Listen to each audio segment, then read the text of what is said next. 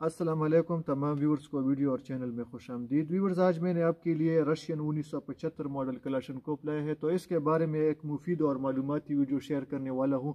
इस वीडियो में हम आपको जो है ना, चार ऐसे मेन पॉइंट्स या मेन निशानी आप लोगों के साथ शेयर करने वाला हूँ कि ओरिजिनल 1975 मॉडल में ये होना ज़रूरी है। अगर आपके पास 1975 मॉडल पड़ी है पहले से या अभी जो है ना, आप इसको बाय करना चाहते हैं तो ये वीडियो आपके लिए है। वीडियो को स्किप ना करें, क्योंकि आजकल जो है ना पचहत्तर मॉडल में बहुत से फ्रॉड और धोखे लोगों के साथ होते हैं। तो इस भाई के साथ भी ये धोखा हुआ है। तो इसलिए आपके साथ जो है ना मैं एक मालूमती वीडियो शेयर करने वाला हूँ। वीडियो को लाइक करें और दोस्तों के साथ शेयर करें। आते हैं अपने टॉपिक की तरफ़। फ्रेंड इस पर हमने पहले भी वीडियो अपलोड किया है। आ, इसकी स्पेसिफिकेशन वगैरह पे लेकिन शॉर्ट बैकग्राउंड हिस्ट्री आप लोगों के साथ शेयर करता हूँ। व्यूवर्स इसको जो है ना रशियन उन्नीस सौ पचहत्तर मॉडल कलाशन कूपी कहते हैं इसको लोग एक एम भी कहते हैं यानी ऑटोमेटिक कलाशन कोप मॉडर्नाइज कलाशन कूप की मॉडर्नाइज वर्जन है या इसको सिंगल तांबा कलाशन कूप भी कहते हैं इसको कल, इसको जो है ना हमारे यहाँ लोकली ज़ुबान में कलामीटो पक भी कहते हैं। और ये ओरिजिनल रशिया ने डिज़ाइन किया और जितने भी कलमी कलाशन कोप है वो सिंगल बॉडी या सिंगल तांबा होते हैं। अभी आते हैं मेन टॉपिक की तरफ़।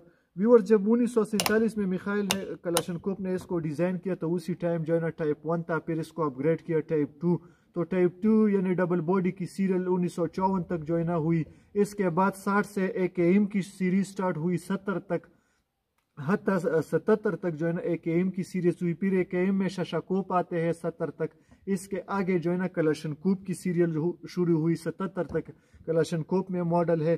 सतहत्तर से ऊपर जो है ना ट्रिपल टू कलाकूप की सीरियल में चौरासी तक और फिर नब्बे के बाद जो है ना ए के एस सेवेंटी फोर यू, जिसको हम करीन कोप कहते हैं। नब्बे से ऊपर जो है ना वो ट्रिपल टू की सीरियल जो है ना वो स्टार्ट होगी। ये तो इसकी शॉर्ट बैकग्राउंड हिस्ट्री थी। ये सिंगल तांबा कलाशन कोप के और रशियन मेड है। उन्नीस सौ पचहत्तर मॉडल है। इसमें शशाकूप भी है और कलाशन कोप इसमें ज़्यादा डिफरेंस नहीं है, सिर्फ़ इस गिस ट्यूब में इसका फ़र्क होता है और मॉडल में फ़र्क होता है। लेकिन शशाकूप में दो किस्म के होते हैं, एक रिकंडीशन होता है और एक ओरिजिनल होता है। लेकिन रिकंडीशन रशिया की रिकंडीशन होती है, ऐसे नहीं कि पाकिस्तान में जो है ना रिकंडीशन हो चुकी है। इसमें फिर दो टाइप्स की आती है। अब देख ले, इसमें इजमोश कंपनी की भी आती है एरो वाली, और इजमोश वाली है ये एरो वाली, और इसमें जो तूला वाली है, वो स्टार वाली है। लोग स्टार वाले को पसंद नहीं करते, लेकिन सबसे पहली रशिया की जो प्लांट थी वो स्टार वाली थी जिसने मशहूर ज़माना टी टी तीस बोर तुला टेकारो पिस्टल भी डिज़ाइन किया तो अभी आते हैं मेन पॉइंट्स की तरफ़ कि आपने जब 1975 लेनी है या अगर आपके पास है तो आप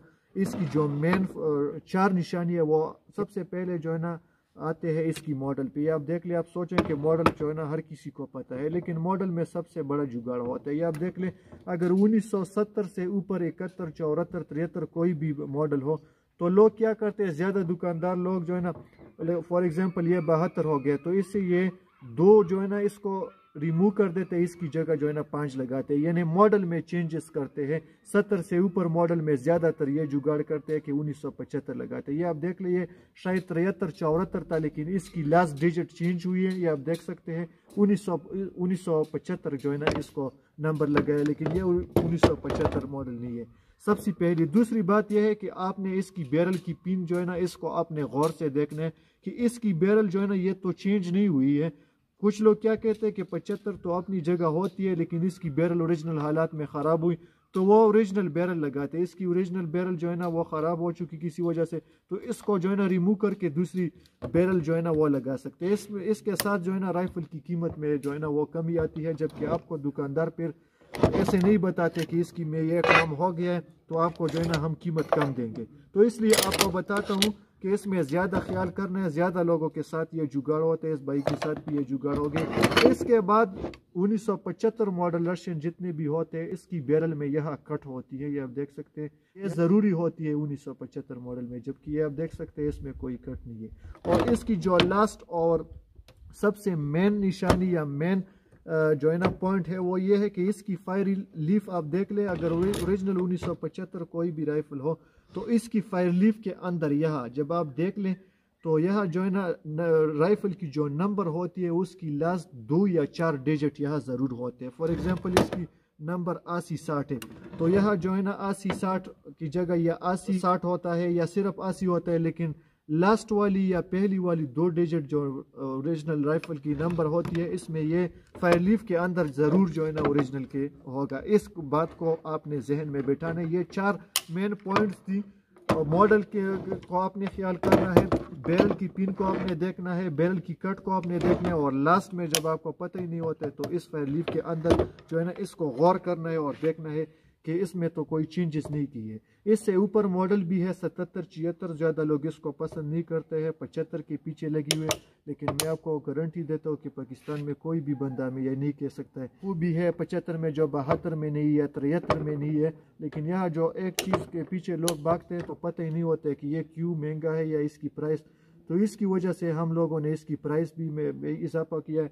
ओरिजिनल चाहे इकहत्तर हो, बहत्तर हो, चौहत्तर हो, इसमें कोई डाउट वाली बात नहीं है सब एक जैसी है। इसमें आप कंफ्यूज ना हो चाहे आपके पास पचहत्तर है तो आपके लिए वेल एंड गुड अगर बहत्तर है, तिहत्तर है, लेकिन एक चीज़ के पीछे आप ना भागे और ना अपनी आपको कंफ्यूज करे कि सिर्फ़ पचहत्तर जो है ना, वो बंदे के ऊपर फ़र्ज़ है। तो ये एक मालूमती वीडियो थी पचहत्तर के बारे में, जो मैंने आपके साथ शेयर किया। एक दोस्त के साथ भी इस तरह से कुछ जुगाड़ हो गया था तो मैंने सोचा कि आप लोगों के साथ इसकी वीडियो शेयर कर दूँ।